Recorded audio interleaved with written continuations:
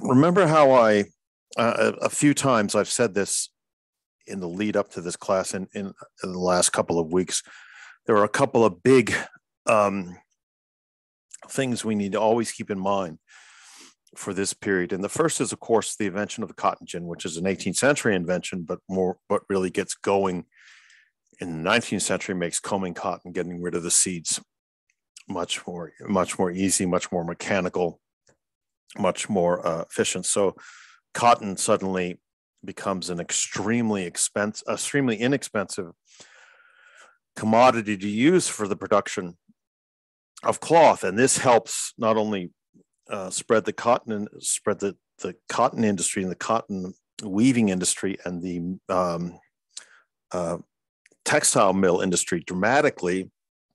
It of course means that slavery expands dramatically because all cotton in North America, uh, almost all cotton in North America, is produced in the South, and uh, an awful lot of it is produced by slave labor. So, at exactly the time when some of the founding generation thought that slavery might be dying, or there might be, or that slavery might be sort of eventually on its way out or on the gradual decline to die, it is revived by by the cotton gin.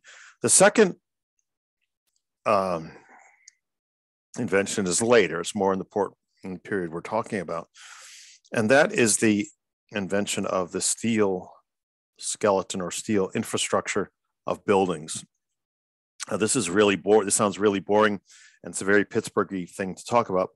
But essentially, what it is is what you're what people are able to do with with steel, which is lighter and stronger than masonry, is build um, an interior skeleton of buildings uh, made of steel, and then the exterior is made of bricks or stone or whatever. But that exterior is very compared to the way they used to be. The exterior is very uh, thin compared to building house straight up from the foundation up made of bricks or stone. And this meant that buildings could go up, be built much higher. And this this is where we see the the where sort of towns, some big towns turn into really what we what we think of as modern cities now. And and and small towns turn into larger towns. Um, there's a, there's a possibility of doing much more commerce in town, and also therefore and and the the the ability to pack these for lack of a better word, skyscrapers uh, together means that a lot more business can be concentrated. It's a very big development. It also means that slave uh, plantation owners can maintain themselves on their plantations out in the country in more um, uh, disconnected but also connected ways the, the, town becomes more important as a as a an entrepot of co- commerce and, and the and the this the trading of of whatever commodity slave cotton sugar a slave um, tobacco cotton sugar okay? But you're making all this money from the town but you're able to spend it and live outside uh, on the plantation so you get these massive plantations like arlington and stuff like that in this period and the third thing just to remember is, you know, don't don't fall into this trap that a lot of us fall into, including me, that you know the North is sitting by idly while all this is going on, and the North is full of full of anti-slavery people, full of uh, firebrand abolitionists and stuff like that. Well, all the almost all the cotton textile mills are in the North because they're becoming industrialized by this period. Uh, Massachusetts is just chock full of, of textile, textile mills, and upstate New York is chock full of textile mills. And so the northern businessmen are, are profiting tremendously off of southern slave produced cotton. Okay?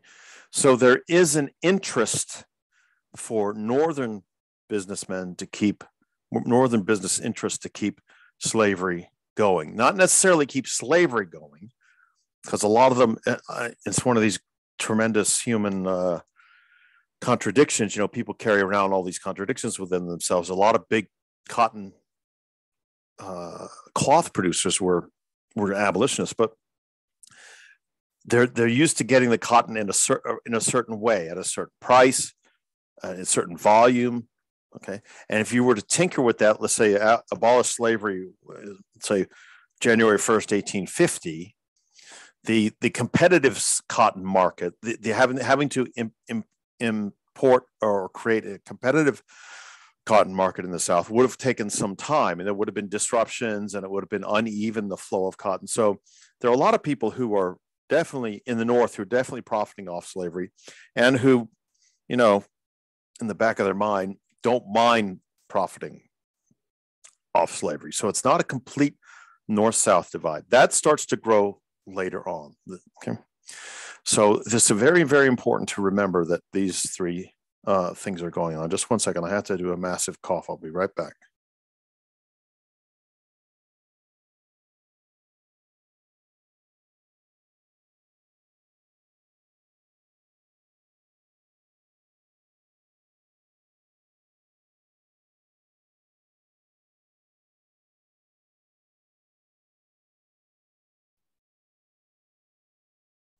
Um, okay, where was I? All right. So, so, but where does all this start? This all starts in the Old South and the idea that cotton is king. Cotton replaced sugar as the world's major crop that was produced by slave labor in this 19th century.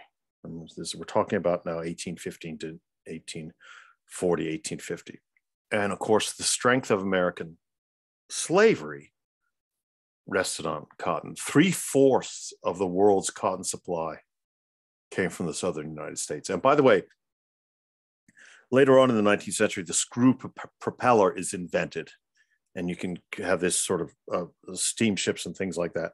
And the paddle wheel steamer is, is outdated. But uh, one thing cotton actually, uh, and the increase in production of cotton boosts is the, pr- production of sails. Sails, as you know, are massive pieces of cloth, and sail cloth itself has to be has to be um, of a certain type of cotton, very strong, very sturdy. Well, if there's a there's a brief sort of burst in the uh, number of ships being built because you can now start to have a lot of sailing ships, whereas before before you couldn't. Um, the growth in cotton also helps produce the growth in durable work clothes. Uh, some people argue that the gold rush in California wouldn't have happened without denim jeans, which of course made it made of cotton, made of very thick, heavy cotton, very law, hard wearing, and all that sort of thing. And those things have all these subsidiary industries that grow up with them. So the slay, uh, slails, the sails, right, require grommets to uh, require, uh, yeah, grommets to to lash them to the to the uh, to the or to or to hoist them, or whatever they call it, to um, up the up the mast. Levi's jeans, if you will, even to this day, have little rivets in them. Right? They probably don't need them anymore, but they have them. Uh, well, this was you know this was one of the things in the 19th century. So so uh, cotton has an increase in cotton production leads to an increase in cotton cloth, which leads to an increase in all these sort of subsidiary industries that support that. It just grows and grows and grows and grows and grows. Okay? The cotton in the U.S. is not only and cotton in the South is not only sent to textile mills in the North, uh, but also to Great Britain. Great Britain, and in fact, in the north of Great Britain and in southern Scotland, because there's a lot of water power, a lot of river power. Uh, there's a, just an explosion in the number of, of textile mills, textile mills.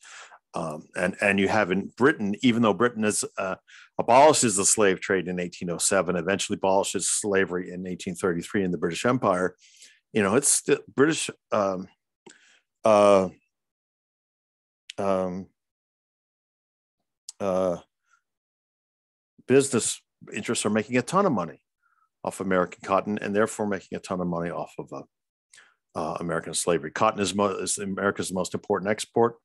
Okay. Well, by 1860, it represented over half of the um, uh, of the U.S. exports um, worldwide. Okay. Now, as I say, the slave trade is banned in 1807 by the British um, uh, Empire. It's enforced by the British Navy, enforced pretty well by the British Navy, and it, uh, but also the Constitution uh, bans it. Uh, the U.S. bans it in in 1820 because it it, it said that it's it's actually in the Constitution the slave trade is allowed to exist for a certain period, but that doesn't mean that the supply of slaves goes down. In fact, the supply of slaves goes up because of what's called natural increase. Slaves in the United States produce more slaves uh, through breeding. There were more than 2 million slaves sold from 1820 to 1860 within the United States, okay, not being imported from Africa. Okay. And as I mentioned, these towns becoming cities and these cities becoming uh, places of intense commerce and highly concentrated commerce. Well, there's there uh, the offices of slave traders expand. Uh, there are big big uh, auction houses for slavers for for uh, auctioning off slaves.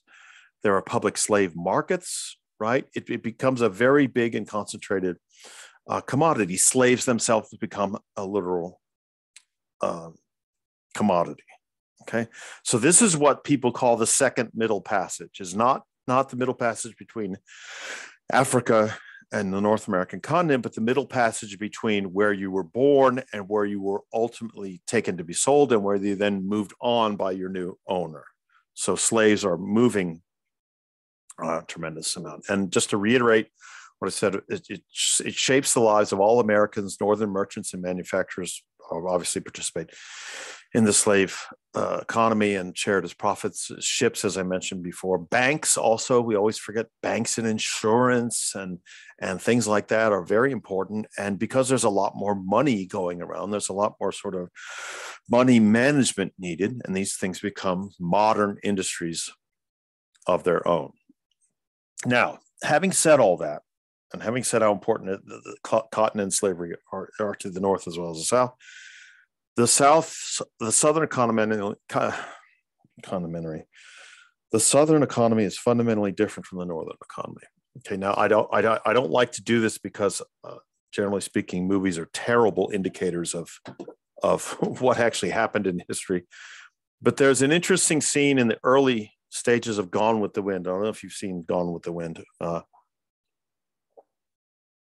it's one of these movies that history professors hate with a passion because it's so um, it just it uh, glorifies the old South. It it uh, it has all these obedient plantation loving slaves on it. Mean, it's just it's about as ahistorical as it can get. Um, but there is this uh, scene early on after the war breaks out, or the war is starting to break out, or the Fort Sumter is fired on. I can't remember exactly.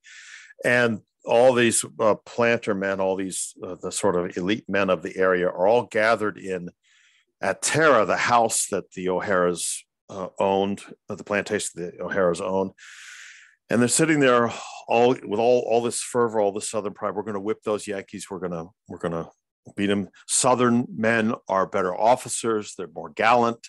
They're more gentlemanly. They're better fighters. They have a more more ideolo- they have a stronger ideological commitment to their cause right it's for the tradition the way of life northerners are just dirty money men you know we're, we're going to defeat them like we would defeat an army of robots uh, and this goes around lots of people are saying this and, and it's a sort of a rabble rousing crowd uh, in this in in mr o'hara's uh, big uh, parlor and and off to the side, Rhett Butler, paid by Clark Gable, says, "Well, yeah, but remember, guys, that you know there there are I don't know fifty cannon factories in the north.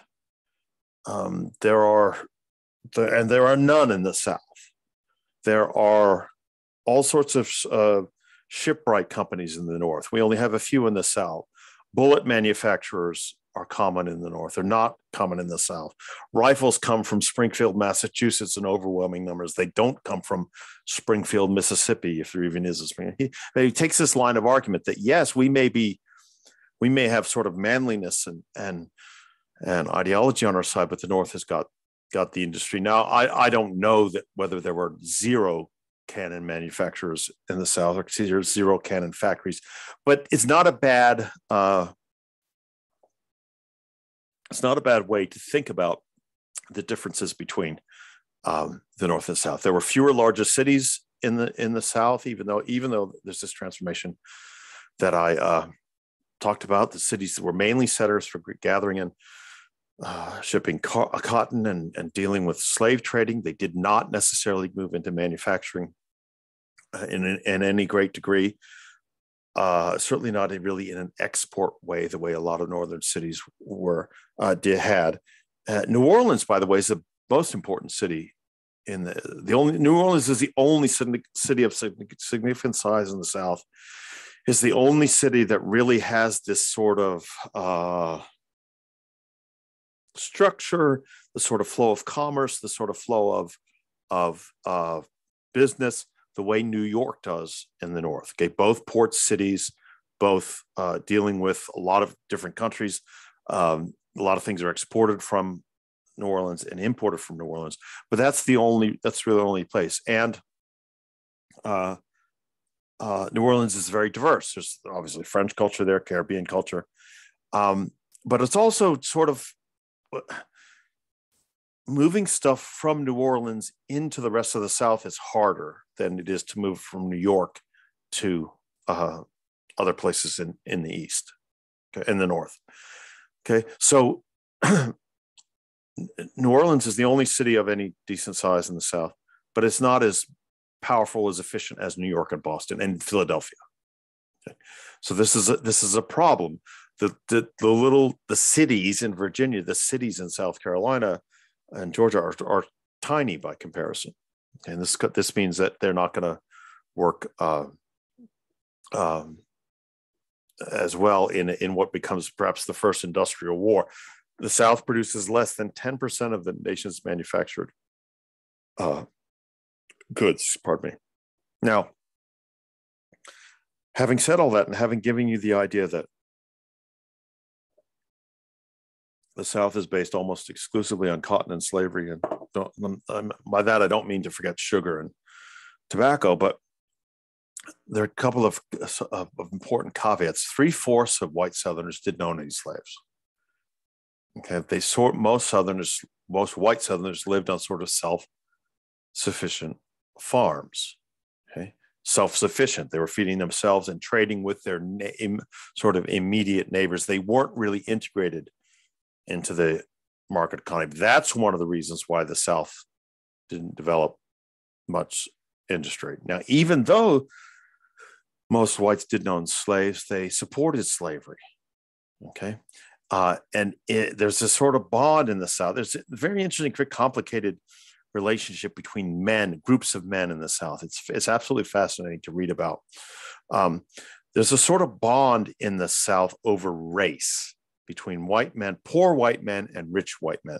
Lots of poor white men, like Andrew Johnson, who become president after Lincoln uh, dies, um, are very are very very against the planter class. They don't like this hierarchical English aristocratic sort of st- structure that exists in the South, but they're still pro-slavery.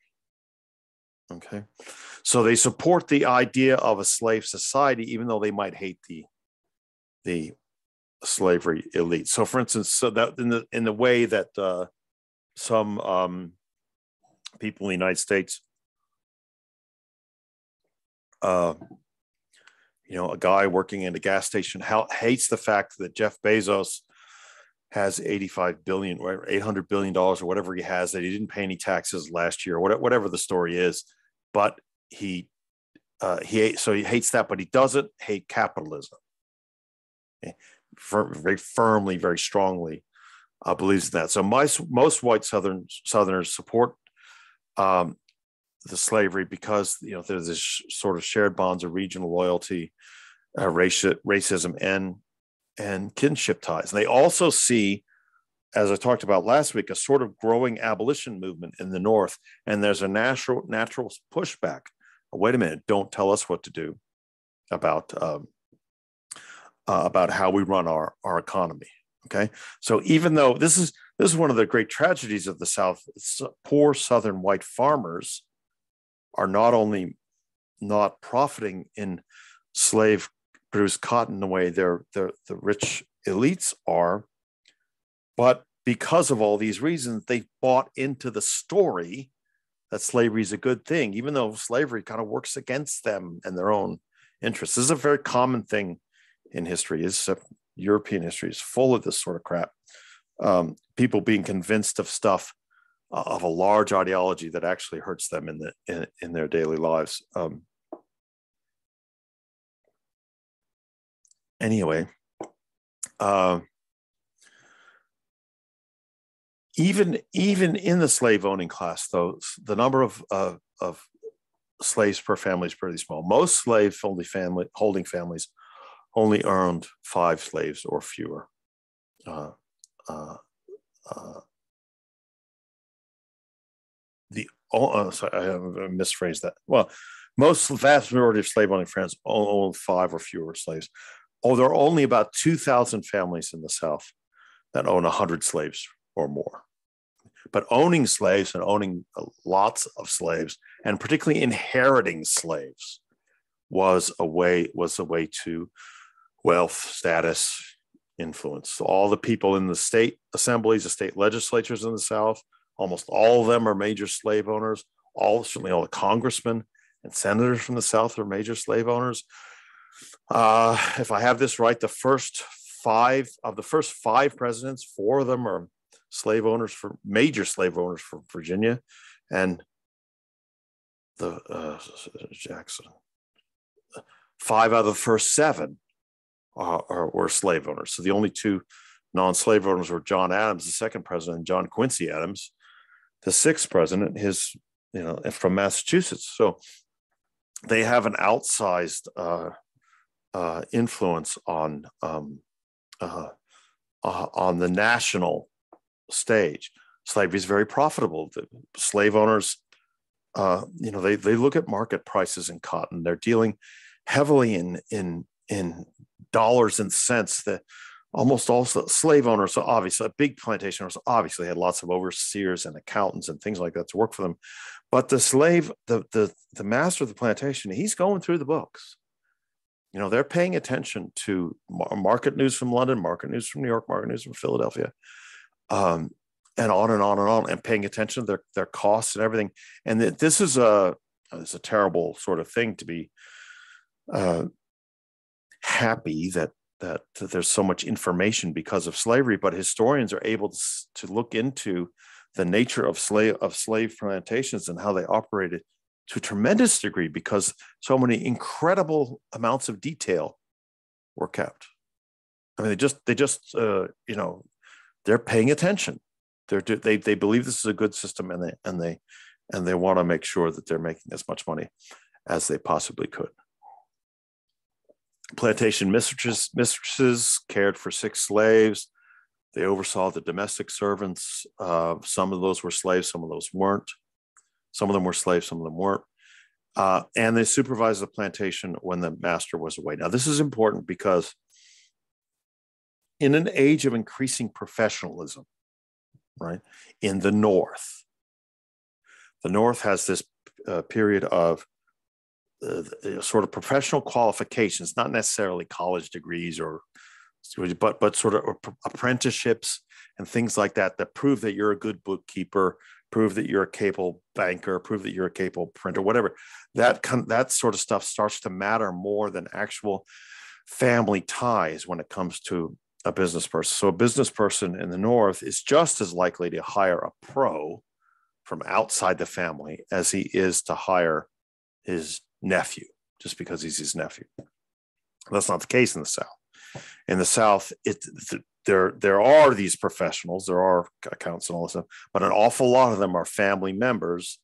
And more importantly, when the slave owner, when the master of the plantation goes off to Richmond to uh, the Virginia Assembly or goes off to uh, Washington for the U.S. Congress or whatever, it's the mistress of the house. It's the family. It's the highest ranking family member who takes care of the of the plantation not necessarily who works the accounting or works the books, but when Thomas, when uh, when James Madison is away, his what you know, any big issues that come up, his wife deals with them. Uh, maybe not like I said, the detail stuff, the sort of mechanical stuff, but but some some some uh, policy decision, if you will, have to be made. It's done by a family member. That's an extremely important difference, and it only increases in as the North starts to move further and further towards a professional society.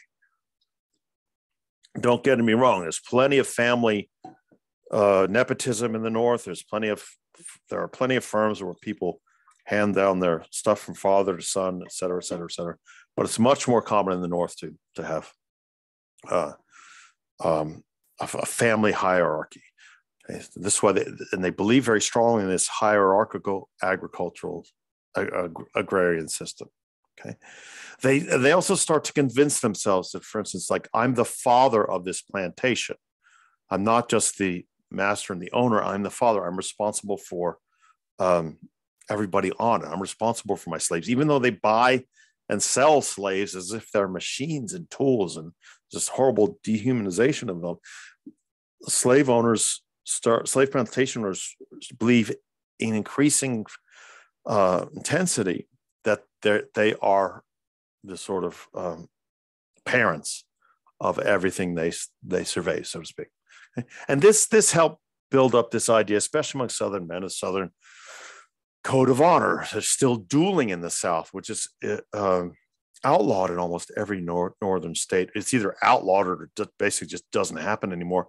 One of the reasons the Hamilton, the duel between Alexander and Hamilton and Aaron Burr was so famous is because they had to it, uh, dueling was banned in New York. They had to go to New Jersey to to to do it, and not only is because these two guys were famous, so uh, and well known and important, so, you know, so it's it's an important event that, that they're trying to shoot each other. Um, uh, dueling was rare in the North. Well, it's not so rare in the South.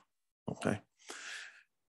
But perhaps the biggest thing for our purposes really is to try to understand how the pro slavery argument intensifies during this uh, period. Remember how I've talked many times as the class has gone on.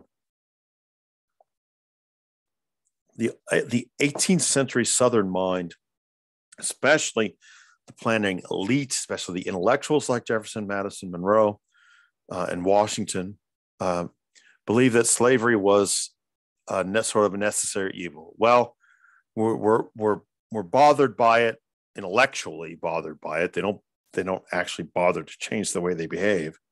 But the, you know, in the back of their mind, their conscious sort of conscience, or they say their conscience plagues them. Uh, there's a big debate about about uh, how how how true that is, especially in the case of Thomas Jefferson. Um, but but it's it's the way things are. It's the way things always have been. The whole the whole South is built on slavery. It's this necessary evil. Well, that changes after this, after the cotton gin, and after all these innovations make slavery in, enormously more profitable. Right? It does it. No one, no one in the, in the pro-slavery part of the South anyway sees slavery as on its way out or uh, on a slow decline to oblivion. They see it as growing, and therefore they kind of built up this own justification that it that it's a good thing. Okay, it's not a necessary evil; it's a positive thing. Slavery is what made Rome great. Slavery is what made uh, what made uh, Egypt great. Built these great empires, and on and on and on. So there's there's a, there's of course a great deal of white supremacy. There's there's some biblical sanction. Remember, the Bible is sort of 50 50 on slavery. Half the time it's complaining about the Israelites in bondage. The other half of the time is talking about, well, the slave has to be obedient to its master and uh, and other stuff. There's a there's a there's a real problem for Christians in the Bible when they're dealing with slavery if they want to f- follow the Bible in a sort of literal sense, fundamentalist sense. Um, sorry. Okay. But I, it's really this historical precedent for slavery and the fact that slavery through the, through these two or three generations that we're talking about seems to be growing uh, in importance and and growing in in profitability and making all these other things possible that say well you know it's it's bad but it's it's not just bad but it's one of these things we have to live with it's good the university of virginia is built on slavery, slave profits, and whatever. So it's because of slavery we're allowed to have this huge, uh, great Enlightenment institution, um, and on and on and on. And another thing that that pro-slavery people start to argue is that slavery, if it does nothing else, it it means it, it means a sort of equality for whites. Yes, sure, most white people in the South don't own slaves. Most white people in the South are small planters. Most people in the white in the South are um, uh, self-sustaining farmers or community-sustaining farmers. They're not really interested, in it, but but they are above black people. They are free, and they are not they're not slaves. They're free, and therefore their e- their freedom makes them equal with with other whites. Okay, Mod- slavery because of the cotton gin was modern in, in many ways. It was in tune um, with the times. The slavery owners, we tend to forget this completely in American history because we forget about everything south of Florida.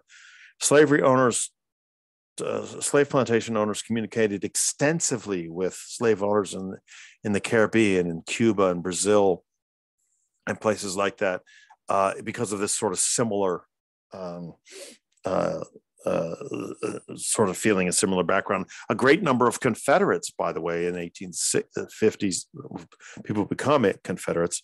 In the 1850s, they're talking about, well, wait a minute, we should form an American South that includes the Caribbean, right, and some of Central America, because after all, we're all slave only people. That that's the defining thing in our um, in our um, in our lives, and they're able to use their power within the federal government to make sure that slavery isn't really tinkered with. The fugitive slave law is passed early on in the century and it is, is enforced very quickly, very strongly. Um, uh, as you know, the House of Representatives is the southern states are overrepresented in the overrepresented in the House of Representatives because of the three fifths clause, the fact that there are two senators from every state, doesn't matter if you're practically nobody lives in your state or whatever, means that a lot of small southern states, Georgia, have two senators, whereas a, large state, New York, only has two senators. These these are all things that make the South sort of uh, that uh, by uh, by uh, by by new tradition, the new tradition is going to make the South um, more influential in the in the federal government than it is than it would be based on population. This is still true. Uh, and by the way, uh, uh, before just let me make sure to drop this one thing in. Uh, we often you often hear that the Senate is uh, a relic of slavery. The reason why every state, no matter how small or big it is, has two senators is because the slave states wanted to make sure they had they had uh, enough uh, the same number that all states were equal in that regard. Well, that, that's technically not true. The real reason is because all states wanted to make sure they had equal representation in the Senate. Um, whether you were a small state or a big state, had to do much more with your size than with how much uh, mm, than when you were slave or free. New Hampshire's tiny, for instance. So it, it, but of course, it demands two senators. Rhode Island's very small, but it demand, demanded two senators uh, way back when. So it's not technically true that the the um, the um, Senate is built on slavery. In fact, if anything, the House of Representatives, the House of Representatives is more built on slavery than, than the Senate. But I digress somewhat. Although it just I just hear that a lot in the media, and I because they're talking about a filibuster and uh, yes the filibuster is a relic of jim crow right? But it's that does not necessarily mean the senate was founded in the way i just described. Uh, where was i? Okay so these are all the kind of promotions uh, the pro-slavery argument these are kind of the the, the ways slavery in, w- in which slavery is protected in the south and maintained in the south. Now what about abolition? It wasn't about the anti-slavery uh, uh, movements? Well, between 1840, 1800 and 1840, slavery was abolished in most Spanish America, abolished in the British Empire. That's the Caribbean I'm talking about, uh, right? So that that the 1833 uh, uh, slavery's ended in in the British Empire. That's 1833, 1838. There's a sort of apprenticeship periods, long story. Um, uh, and this changes the Southern way of this changes the Southern justification for thinking a justification for slavery in many ways. What happens is in in the British Empire, in the Caribbean especially, uh, sorry, the, this is the third lecture of the day, and the, and the throat is really getting bad. I still have this damn flu. In the uh, Caribbean, after 1833, the sugar trade suffers. The profit, the profitability of the sugar trade goes down, and slavery proponents in the United States will look, look you know, the the you, you abolish slavery. Look what happens. Your economy goes down the tubes. So obviously that's a bad thing. Okay. Um, the other argument that abolitionists make is yes, that was only that's only a temporary thing, because you're because you're freeing slaves, you're also uh, creating all these new markets because slaves then will become eventually, the hope is, consumers and purchasers in their own right. Um, so anyway, um, uh, the, the abolition abolitionism is not only a moral moral drive, but there's there are economic drives, and there are in, international drives. There's there's this problem that Americans have at this time where that that a lot of countries are very wary of trading with, with with the United States. They do they trade with the United States. They do trade with it, but they are they don't like a lot of the fact that that um, uh, a lot of their textiles and everything were were produced by cotton. They don't like the fact uh, American cotton. They don't like the fact that um, American or Caribbean or slave sugar is used to sweeten their tea or whatever. There's, a, there's whole movements in Britain and in Europe about they're the anti-saccharites, for instance. The, this is these are sh- people who boycott sugar in their tea, boycott sugar in their coffee because these are the slave produced sugar, and that's morally wrong. So they take their coffee unsweetened and on and on and on. There are people who try, there, there are all sorts of, you have this weird sort of uh, juxtaposition of these northern, northern English uh, cotton manufacturers, cotton uh, textile manufacturers, who are also themselves anti-slavery. They want to build. They want to. They want to um, uh, uh, be textile manufacturers, but they want that to be based on free labor cotton rather than slavery. And they increasingly pressure Parliament for tariffs, for for other things to try to restrict slavery, diplomatic pressure to restrict slavery uh, in the United States. So that there's off there's an awful lot of uh, pressure internationally and nationally uh, uh, uh against slavery in the um, um, in the in, in the South. Now, I'm going to have to stop it here after half an hour or 40 minutes, whatever, because my throat really is giving out. But what one of the things I want to stress, and there'll be more about this in the recorded lecture that I'll upload later. Uh, all of these pressures against slavery from the North, from uh, uh, international uh, spheres of influence, they just re- harden the resolve of the Southern attitude, Southern white attitude towards slavery. Okay. This just makes, see, on the one hand, Southern planters are making a fortune off, um, off of slavery. Small Southern white farmers who don't uh, make money off slavery, but feel a, a racial kinship with, with, with, with planters feel that that their their lifestyle and their traditions, and their way of lives are being threatened. And this is this is this intensifies during this whole period. That's why you get these whacked out radicals like Jefferson Davis, who say the most outrageous things in, in defense of slavery. Uh, by the time the, the, the Civil War breaks out, I mean, they really do believe that Jefferson Davis is. I don't know this for certain, but I wouldn't be surprised at all if Jefferson Davis's grandfather was uneasy about slavery had these sort of competing notions in his head about slavery uh, in the same way that Thomas Jefferson did. Well, but Jefferson Davis is just a just a, an out and out racial eugenicist, racial purist. He just, you know, the in other words,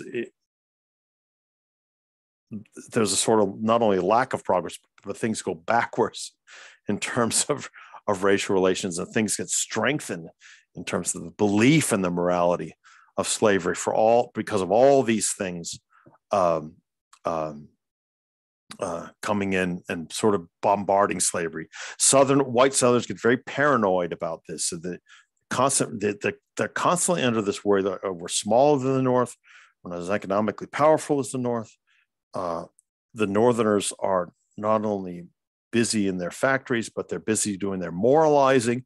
We don't like a lot of these um, these uh, spiritual things that are happening and these religious revivals and reform movements in upstate New York a lot, which a lot of which are uh, uh, abolitionists. You know, we need to. And I don't want to say they sit down and say and and uh, have a, a, meeting like the, the, the people that did it, Tara in the movie Gone with the Wind. They don't sit down and have a meeting say, okay, now we need to we need to come with, up with more justifications for slavery. It's just this kind of natural reaction.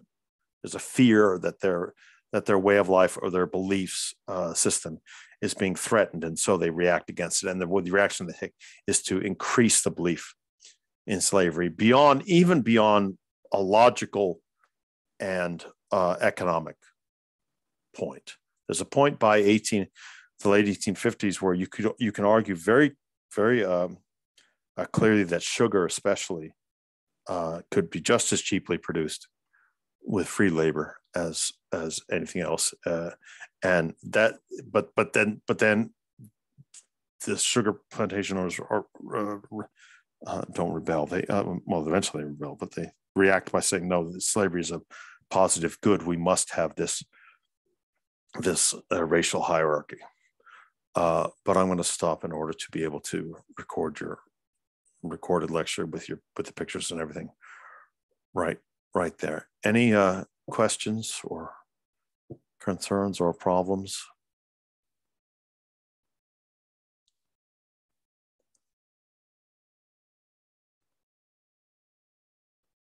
No? Okay, well, Joe, I will I will solve this problem we're having with your uh, grade on the on that assignment uh, one, and uh, your discussion agenda is up the uh, podcast, which you've been signed for this week, is up on Canvas. So I will see all of you on Thursday. Okay. Sounds good. Thank you.